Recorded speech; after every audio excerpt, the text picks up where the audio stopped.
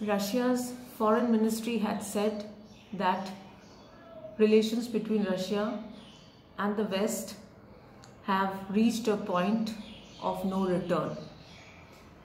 In a speech on Friday, the foreign minister said that relations between Russia and the Western countries have soured so much that it has reached a point of no return and it is very unlikely that Russia could now become good friends with the Western countries, especially with the United States of America and Canada.